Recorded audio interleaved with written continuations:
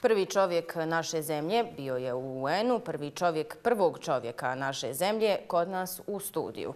Slaven Kovačević, savjetnik i šef kabineta Željka Komšića, moj je večerašnji gost. Dobro večer, gospodine Kovačević. Dobro večer, nisam šef kabineta. Savjetnik. Savjetnik za vanjsku politiku i tako u tom dobrim I jedan od koautora govora Željka Komšića u Ujedinjenim narodima. Nas dvojica smo, to smo Željko i ja zajedno. Skupa ste to pisali. Pa onda e, da vas pitam za vaš komentar ili ne?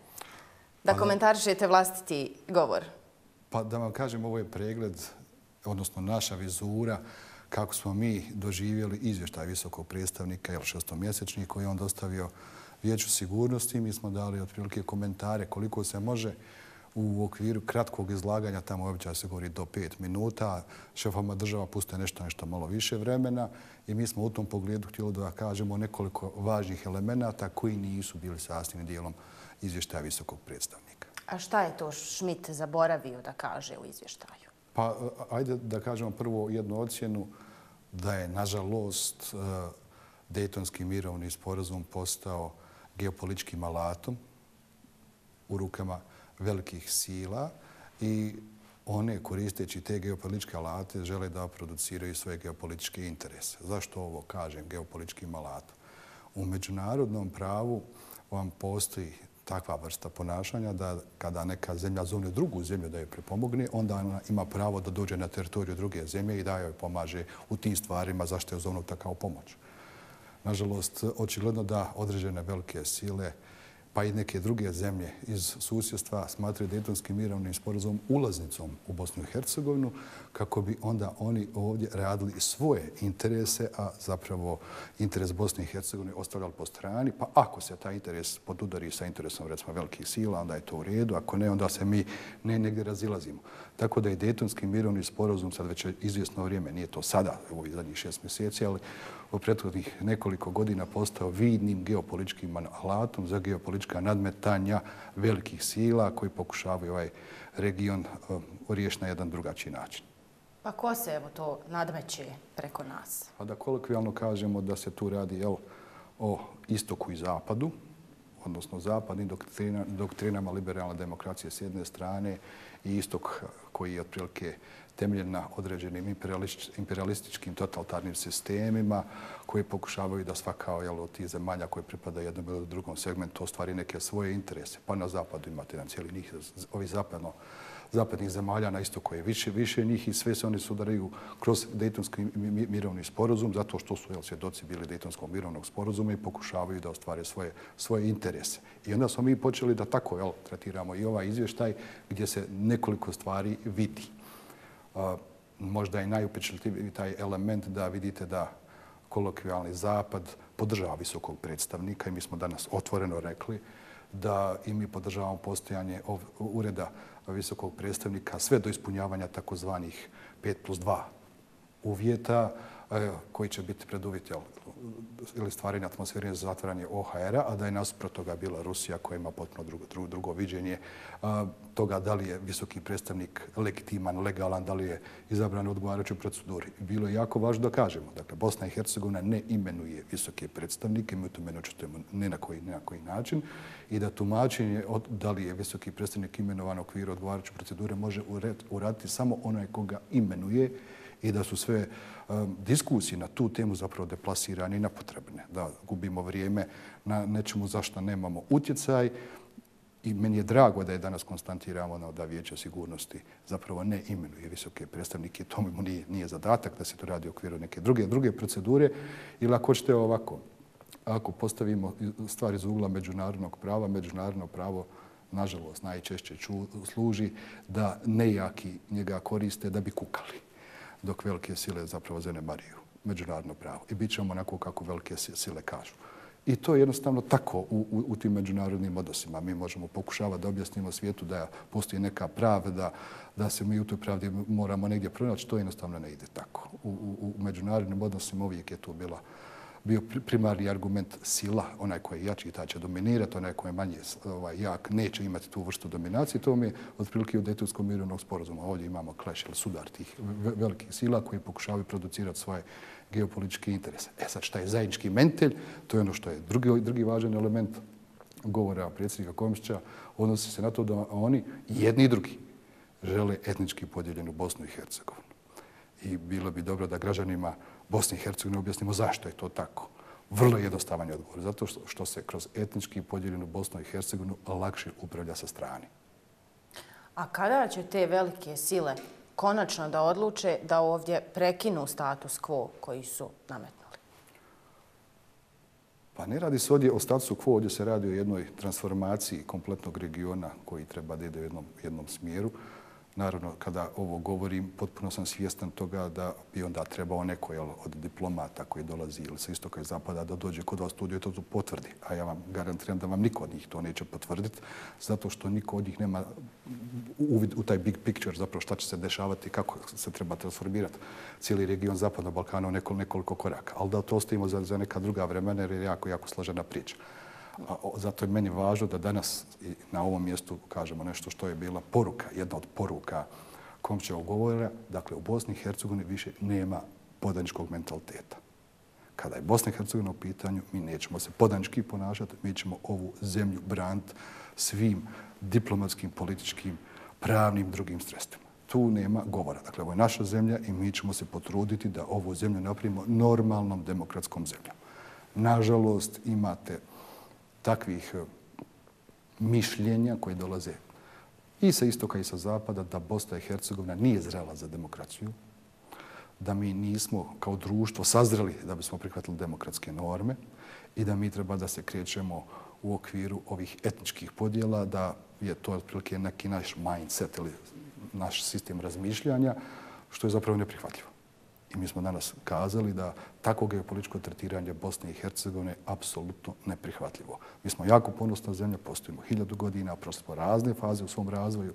Ne možemo dozvoliti da se sa nama postupa na takav način. To je jedna od poruka. Pa neka je neko prihvati, svako prihvati kako god želi. Ali sad želimo graditi od jedne stvari. Nema tu antizapadne retorike. Uopće.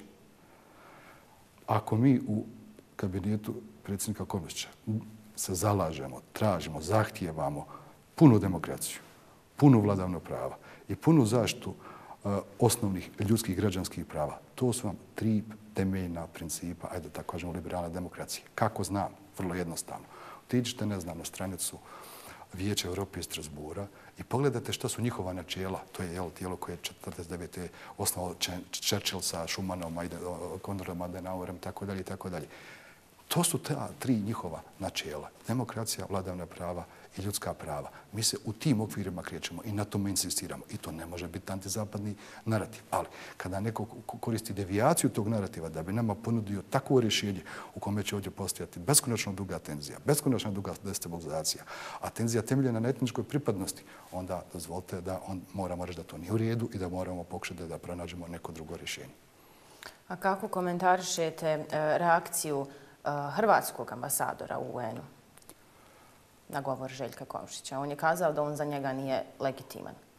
Pa a, ako malo pratite igru na vijeću sigurnosti, to gospodin ambasador nije htio kazati u izvornom svom govoru, on je to dodao kasnije. I to on se vidi nit da zapravo susjedna Republika za Hrvate, a zapravo koristeći tu etničku zajednicu, da producira svoje ne vanjsko-političke, nego njihove unutar-političke interese koji su, nećete vjerovati, istovjetni onome što je presuđeno ovdje neće biti, onda oni političkim stresna pokušavaju napraviti takav politički sistem u kome će oni dio suvereniteta izdvojiti iz Bosne i Hercegovine, preuzeti ga i vršiti upravljanje Bosne i Hercegovine onako kako to njima odgovara. Ako se s ove druge strane uklopi, uklopi, ko se ne uklopi, naće se neko drugi ko će se uklopiti. I to vam je ta surova istina. I zbog toga on to govori. Zbog toga oni insistiraju da se biraju Hrvati koji su njima pogodni, koji će onda njima izrušiti suverenitet Bosne i Hercegovine. Kako znamo? Ajde da vam ponudim nekoliko primjera. Zašto nemamo demarkiranu granicu na terenu? Čak je meni vrlo interesantno da je Republika Hrvatska potpisala da bi, da trebao kod nas biti ratificirana što prije, kako bi onda dvije međudržavne komisije, koje su već tu radile, postavile demarkaciju te granice na grante Onda kod rijeke, kod rijeke Kostajnice ne zna se gdje je granica, pa ljudi to koji imaju tamo imanja sami ne znaju da li su u Bosni i Hercegovini ili Hrvatskoj. Postoji jedno e, mjesto koje se zove unište. Imamo li demarkaciju granice na moru? Pazite, mi smo pomorska zemlja, mi treba da oživamo sva prava koje nam nudi UNCLOS i ona prava koja mi treba da ostvarimo na našim dijelom. Kad smo tražili da se otvori nešto što se zove međunarodni granični pomorski granični prijelaz između Bosne i Hercegovine i Hrvatske, koji ne, ne mora biti u Neumu, ali negdje na toj liniji, jel, u, u, u, dole u okolini ne, Neuma, nisu htjeli to da, da o tome razgovaraju. I onda svaki brod koji ide u Bosnu i Hercegovinu prvo mora otići u ploče po neku saglasnost, pa onda uploviti kod nas je li to izdvajanje suvereniteta iz ruku Bosne i Hercegovine u korist zvaničnog Zagreba? Vidite da jest. I tako dalje, broj... broj... Ali je onda izjava ambasadora zvaničan stav Hrvatske ili zvaničan stav HDZ-a? Pa pa ambasador uvijek mora govoriti zvančan stav svoje zemlje. Tu nema ni Andrej Plenković, onda je prepostavljamo da iz tih krugova dolaze, dolaze ti vjetrove. Ali na takvom mjestu kaza da je neko nelegitiman na izabranje po zakonima zemlje. Dakle, vidite kako oni žele zanemariti izborni zakon Bosne i Hercegovine, ustav Bosne i Hercegovine i reći nešto što ne stoji. Zahvali smo ambasador Lagumđi koji na to odmah. Da je Bosna i Hercegovina jedinstvena zemlja i da će tako i ostati. E, nije li to negdje i svojevrsna poruka svim onima koji pokušaju... Velike Britanije, koja inače voli po svijetu da pravi geopolitičke igre, takve koje odgovaraju interesima Velike Britanije, na Izrael 48. godine koji su Britanci organizovali na znači kako su, kako su organizovali. Ima tu još primjera i njihovih kolonijalnih i drugih, drugih stvari. Ali vidite ovako, mi smo to kazali Dobra je dijagnoza koju je uspostavio visoki predstavnik vezano za aktivnosti iz BH entiteta Republika Srpska, njihovog rukovodstva, koje govore jel, o nekom mirnom razlozu, disoluciji Bosne i Hercegovine, neodrživosti ove zemlje, da, da to treba tako tvrdi u svom izvještaju, što tvrdi u medijima i onoga što on radi. Ako već vidiš da su to probleme i ako ti je posao da rješavaš to takve probleme, i u rada to zaustavite. Jer ako vi to nećete zaustaviti, onda je jedina opcija da to mi zaustavimo. A ja ne smijem ni pomisliti i ne želim da pomišljam šta bi se dešavalo da mi uzmemo to u svoje ruke, da mi to pokušavamo riješiti. Dakle, ako želite da zaštitite Dayton onakav kako je on zamišljen, i da ovdje napravite neki mir, jer je legitiman cilj Dejtonskog mirovnog usporedna bio uspostava mira, a sad se vrši napad na taj mir, jer ne postoji mirni razlaz. Ne može se Bosna i Hercegovina mirno razići. Ne može doći do mirne disolucije. Napad na njene državne institucije ne može se mirno prihvatiti. Onda vi morate da se aktivirate i u okviru svojih kapaciteta, velikih sila, da ovo... Pazite, govorim o konkretnim aktivnostima neću da govorim o natpisima na društvenim mrežama i nekim saopštenjima za kojih zapravo nema nikakvog efekta. A ako je vaša reakcija mlaka, onda se mi moramo zapitati, možda vi radite zajedno s Dodikom na tome. Vjerovatno vam nijedan ambasador neće reći da oni to tako nešto rade. Ali je začuđujuće da Dodik može tako izvrijeđati američkog ambasadora, britanskog ambasadora i proći bez ikakve reakcije. To natpis na Twitteru ili na nekoj Vi mislite da, da Marfi, Dodik i Schmidt ne iza kulisa ne nešto skupa? Ne radi oni zajedno, ovaj, ako tu postoji ovaj scenario, onda su oni samo izvršioci tog scenarija koji je zamišljen na nekom drugom mjestu, nekom drugom centru moći. Malo mirše na to ne potvrđujem niti demantiram, ali malo mirče da te blage reakcije isto kao da oni njemu to dozvoljavaju. A može li mirisati na ono što ste rekli i sami u, u izvještaju, odnosno u govoru, da je, parafraziram, upitna ta podrška koju uživa Schmidt u međunarodnoj zajednici? Može li to biti razlog zašto se Dodik do sad nije sankcionisao u onskim oblastima? Pa pazite, Mislim da su e, poređenja sa prethodnim visokim predstavnicima deplasirane. jer kako je to radio gospodin Pedi Ešdaun, e, on je to mogao raditi, zato što je bio NATO. Sjećate se ne Hercegovačke banke, to je bilo čak i prije gospodina Ešdauna, kada su oni shvatili da se dole dešava neki finanski kriminal, kako se to završilo, tako što je NATO ušao sa transporterima i tenkovima tu banku i to se fino obavio kako, kako su oni to zamislili. Nažalost, gospodin Schmidt to ne ima nema takvu vrstu sile iza sebe, on ima ovu verbalnu podršku iz međunarodne zajednice. Imamo EUFOR, ali... Dobro, EUFOR ima... Kakav bi bio scenarij da oklopna vozila EUFOR-a uđu u Banja Luku? Pa nije misija EUFOR-a da tako nešto radi, ali ako hoćete da vas neko shvati ozbiljno, onda tada su pedijaš dana shvatali te kako ozbiljno. On je 50 ljudi smijenio i svašta nešto još uradio. ali i za sebe ima efektivnu vojnu silu, pa je mogao to da radi. E sad, ne mora biti takva vrsta vojne sile prisutna u Bosni i Hercegovini, može to na drugačije načine uraditi, ali ja koliko vidim, osim što su oni svi jako zabrinuti i što govore da je ovo Dodikovo, kako da kažemo da nije akademski, ovo mahnitanje njegovo u javnom prostoru, da to nije u redu, a da zapravo nemate konkretnu aktivnost međunarodne zajednice, onda tu očigledno nešto neštima, da ne kažem da tu malo nešto i smrti. Moram vas pitati, malo je vremena, puno, puno pitanja i puno tema. Kako komentarišete raspravu e, ruskog i američkog e, ambasadora u UN-u? Pa oni iznose stavove svojih zemalja, pa je bilo dobro da njihovi ambasadori govore oko toga. O, dakle, potvrđuju ovo što sam kazao na početku. Dejtonski mirovni sporozum je postao geopolitičkim alatom. Oni smatruju da je to njima ulaznica u kome oni mogu ostvarivati svoje interese u Bosni i Hercegovini, provoditi raznorazne aktivnosti koje su vezane za interese tih zemalja. Pa ako je to na štetu Bosne i Hercegovine, oni se neće previše zabrati zbog, zbog toga. Oni provode i produciraju svoje geopolitičke interese u Bosni i Hercegovini. E sad, tu ima jedna istorijska priča, tamo poslije drugog svjetskog rata, Teherana i Alte, ovaj dio jel, Evrope je eh, potpao pod geopolitičku domenu nekadašnjeg SSR-a. I vjerovatno Rusi traže da im se to vrati, a da Amerikanci koji su zaradeći zajedno sa Briselom i napravili to veliko istočno proširenje Evropske unije u periodu 2003-2007 godina gdje je deset zemalja istočnog lagera primano prvo u NATO pa u Evropsku uniju, da su oni malo to prekombinovali. Ne prekombinovali, prekomponirali, da napravili su nešto sasvim drugačije gdje je sad ovo domen njihovog geopolitičkog utjecaja. I tu se nalazi taj jel, njihov pod navodnicima geopolitički sukob, sudar na terenu, upravo u na području zapad, zapadnog Balkana. Čak je interesantno zašto nas zovu zapadni Balkan, posebno recimo Brisel. A da znamo da smo potpisali sa njima sporazum o stabilizaciji i predruživanju zemalja jugoistočne Evrope.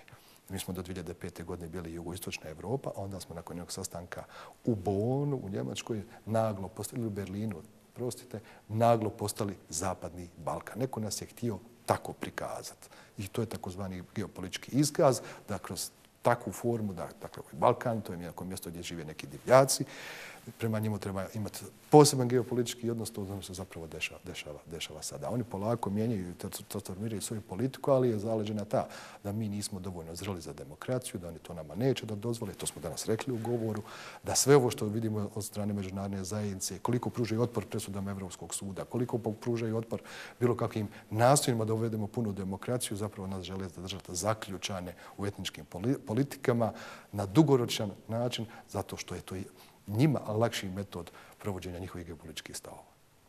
Moram vas e, pitati i za presudu Kovačević. Kristijan Šmit je u izvještaju kazao da bi, ta, da bi sprovođenje te presude, odnosno njeno potvrđivanje, izazvalo još veće podjele u državi. E, presuda je izgubljena. A šta je Bosna i Hercegovina dobila s tom presudom?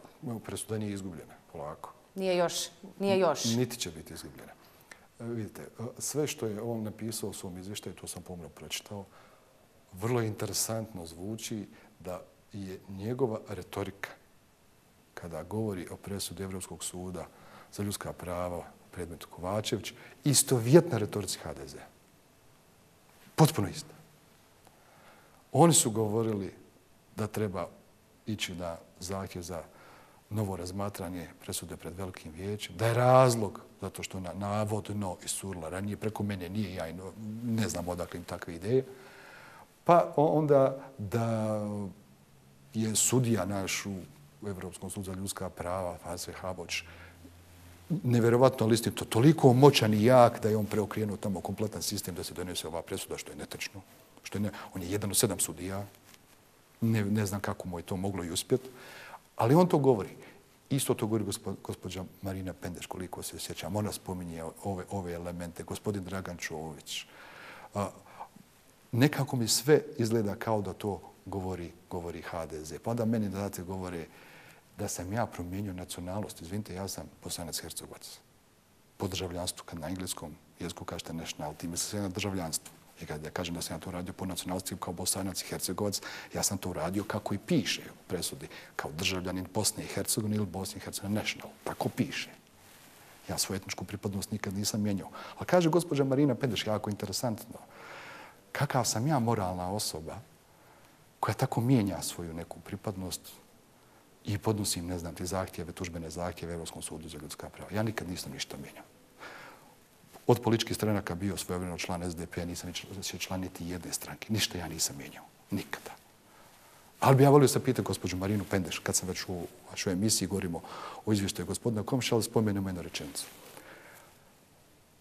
Je li moralan predsjednik HDZ-a, za koga mediji tvrde, ja nisam vidio svojim očima, da se on izjašnjava kao Jugoslove i potpisivao Čirilicu?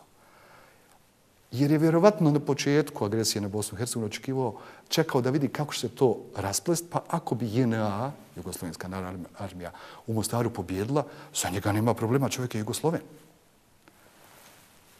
A onda kad je shvatio da od toga nema ništa, naglo postaje veliki Hrvat. E, ko je promijenio? On ili ja? Ko je moralan? On ili ja? Mi volio da čujem odgovor od gospođe Marine Pendeš. Predsjednik HDZ-a to mijenja, a oni to meni spočitaju koji nisam to nikad mijenjao.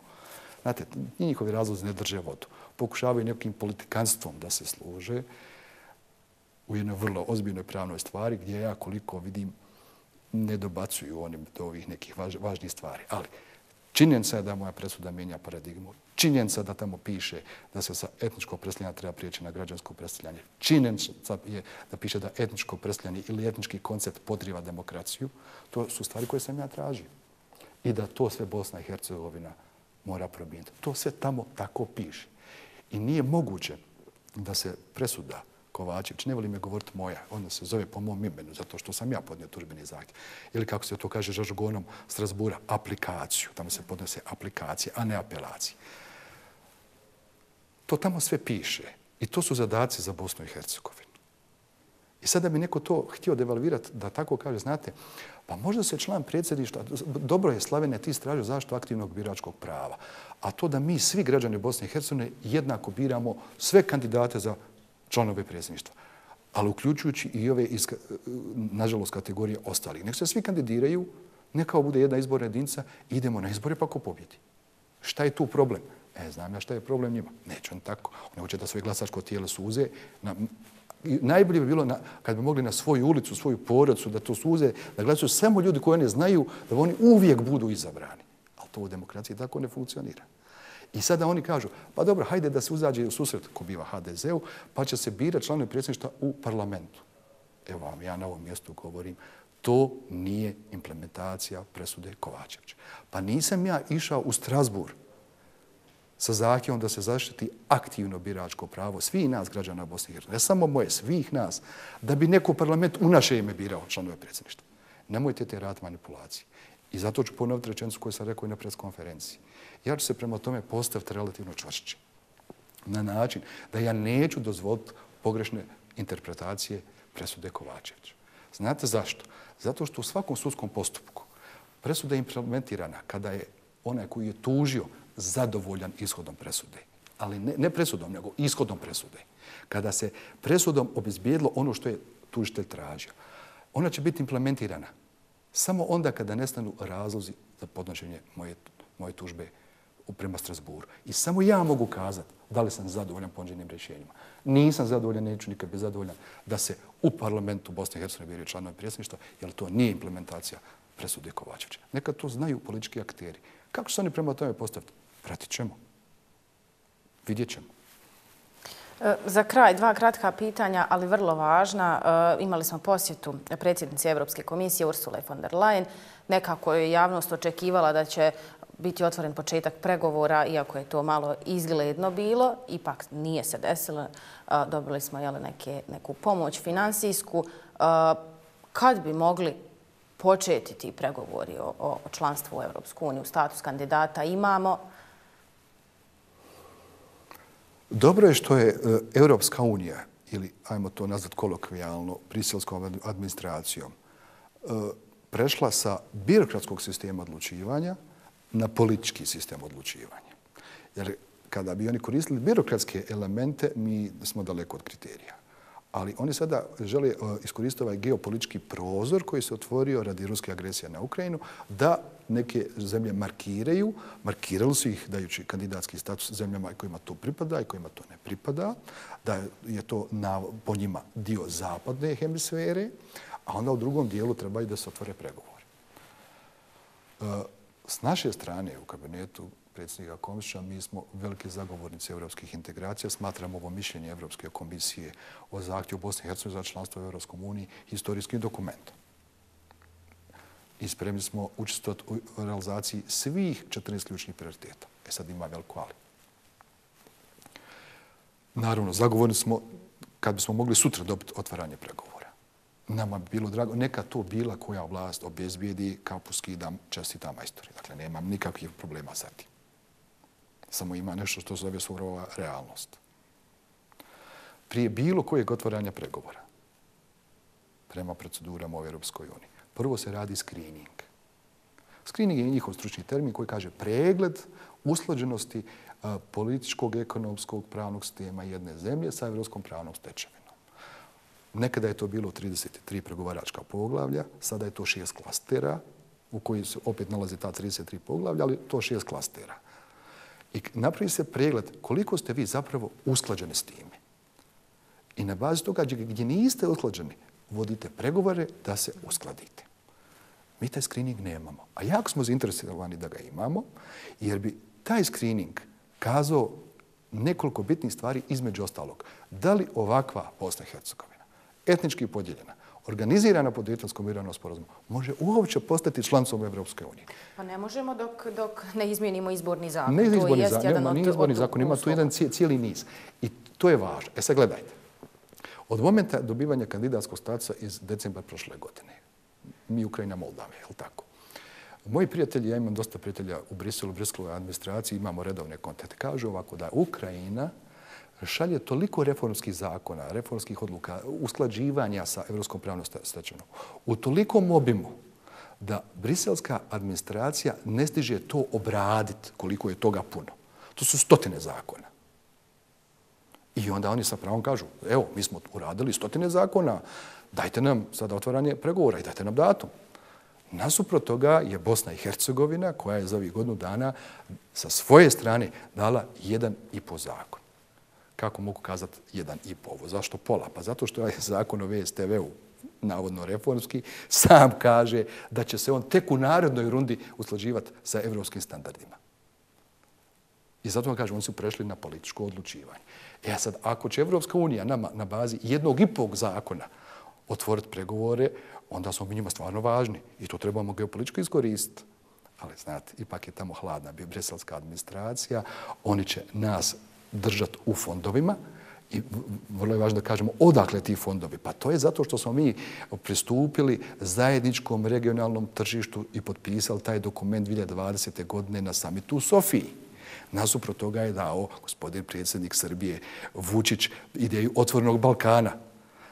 Evropska unija je odlučila na samitu izvinjam se, u Sloveniji u 2021. godine da će sufinansirati taj projekat zajedničkog regionalnog tržišta sa 30 miliona eura. Nasuprot toga je otvorni Balkan sa nula eura. I na, dobro je što je ugašen iz tog fonda od 30 miliona kojima smo pristupili, koji govori o eh, infrastrukturi, konektiviti, zelenoj, eh, transforma, zelenoj agendi, eh, digitalnoj agendi, tako dalje, nekoliko elemenata, mi ćemo dobiti neka sredstva, ali pod uslovom, dva uslova, da imamo projekte za realizaciju takvih stvari, njih interesuje konektiviti, ta infrastruktura, i broj dva, nemojte zaboraviti da postoji evropski tužilac koji će sa ovolikim povećalom da gleda korištenje tih evropskih sredstava i da svaka zloupotreba korištenja tih evropskih fondova može dovesti do krivične odgovornosti. I to mi je jako drago. Mi ćemo dobiti ta neka strukturalna sredstva za vrlo konkretne projekte i to treba da iskoristimo. A ovaj dio uslođivanja našeg sistema do otvaranja pregovora, mislim da ćemo čekati još neko vrijeme. A ako dobijemo političku ili geopolitičku odluku od Evropske unije, hvala im na tome ali bi bilo pošteno prema građanima kazati. Dakle, ja sam veliki zagovornik toga i trebamo to dobiti, ja bi sutra. Ali mislim da je surova realnost sasvim drugačija. I trebamo građanima govoriti ono što jest, a ne stvarati atmosferu da ćemo mi 100% dobiti otvaranje pregovora, možda nećemo. A, sigurno na bazi ovoga izvještaja koji se priprema sada i koji će biti na Evropskom vijeću razmatran, neće baš biti sve pozitivno, jer ima ovdje dosta toga lošeg. I mala je razlika između onoga kako je to bilo u prethodnoj strukturi vlasti u odnosu na ovo. Blokade ne prave ove probosanske stranke, ma koji činio, trojka ili neko drugi. Blokade rade HDZ i, SNSD. Zbog njih mi ih ne napredujemo. I to je činjenica. E, vidjet ćemo šta će u tom izvještaju pisat i da, da Bog da mi pristupili tim fondovima da infrastrukturu gradimo, bit će tu i zapošljavanja, bit će tu svašta nešto, a otvaranja pregovora, ako dobijemo, Bog te veselio, a ako ne dobijemo, nije zadnja prilika, bit će još prilika. E, za kraj moram da vas e, pitam, vidimo svi kako je stanje na, na Bliskom istoku. E, može li se taj konflikt, sukob preliti i ovdje, na Zapadni Balkan, Bosnu i Hercegovinu? Ne može. Ne, ne može. Tamo su potpuno drugi interesi. Ja ću zamoliti vas u vašoj kući da uradite nešto što bi otvorilo zapravo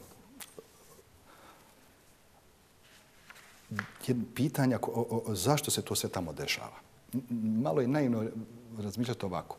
Hamas koji je očigledno teorička organizacija, napao jedan napad, ubio neke Izraelce, ne, ne treba, svaka žrtva je žrtva.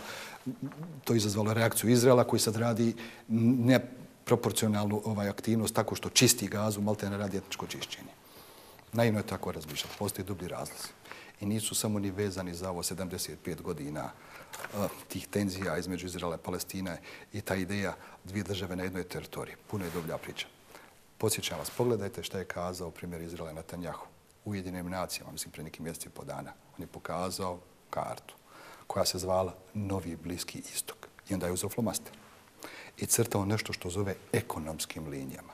A Tad to, su... to niko nije ozbiljno shvatio vrlo malo medija je uopšte prenijelo to. Pa da vam kažem, ovaj, ne znam, ne znam, ali on je e, crtao ekonomske linije. Kad pogledate te ekonomske linije, zapravo se radi o transferima, odnosno transfernim rutama energenata po najviše prirodnog gasa. I kad vam pogledate odakle i ko želi da prenese taj gas i gdje da ga plasira, a navodno su nedavno otkrili u tom dijelu ovaj, ovoga, Mediterana, nalazište jako bogato prirodnog gasa, da mislim se zove Leviatan područje ili kako već, gdje bi oni to pokušali plasirati. E sad, kad pogledate Izrael, Liban, Izrael i ovo dole što je Gaza, samo ta uh, luka, to mjesto Haifa, mislim da se zove, odatle neki transferi idu, a vamo iz ova gornja dva i donjog dijela ne idu. Oni žele da naprave rute. I što se onda može tu desiti? Ako je korporativni kapital ili velike korporacije, ako su postale toliko moćne da mogu zazivati ratove radi svojih poslovnih interesa, onda ova transformacija svjetskog poredka ima ozbiljan problem. Ako velike korporacije mogu zazivati ratove da bi ostvarili svoje profite, onda je ovaj svijet u velikom, velikom problemu. Jedan od razloga, ne kažem da je jedini, i jeste to što je gospodin Netanjahu crtao na toj karti crvenim markerom pred Ujedinim nacijama, nazivajući to novim bliskim istokom. Malo to istražite i vidjet ćete kakva je vizija, a on je reprezent ne samo Izraela, nego i korporativnog kapitala koji hoće nešto, nešto dodala da uradi. Nažalost, korporativni kapital je nemilosrdan. Stradaće mnogo ljudi dok oni svoje interese ovaj, ne učine izvodivim u njihovu korist. I meni je jako žao tog naroda i palestinskog. Dodajmo i izraelskog, i tamo su neki izraelci ovaj, stradali ako je zapravo to osno, osno, osnovna priča koja je vještački izazvana kako bi se rastio taj teritorij za crtanje tih, kako on kaže, ekonomskih linija za ostvarivanje određenih ekonomskih interesa. Istražite pa obavijeste gledatelje. Ja o toj priči znam još ponešto, ali mislim da nije ni vrijeme ni mjesto da za, za sad govorimo o tome. Hvala vam, gospodine Kovačević. Žao mi je što smo imali malo vremena, manje nego što bih ja htjela da razgovaramo o svemu, ali svakako bit će prilike. Ja s vama zahvalim na prilici da vam kažem sve ovo. Evo, imali smo priliku da prezentiramo govor predsjednika Kovića pred Vijećem sigurnosti. Nije to mala stvar u kome smo se mi osvrli na ono što su dijelovi izvještaja visokog predsjednika Šmita. Uopšte nismo navijeli ni za koga, nego ono što smatramo da su problemi koji se trebaju rješavati to nije bilo ništa protiv gospodina Šmita, iako to možda neki dio da javnosti doživljava ta, tako. Ne, mi samo upozoravamo međunarodnu zajednicu šta su stvarni problemi koji trebaju biti rješavani. Imate samo dva scenarija moguće. Znači, to međunarodna zajednica ozbiljno shvati i to rješavati ili možda neće. Vidjet ćemo. Hvala vam, gospodine Kovačić. Hvala vam.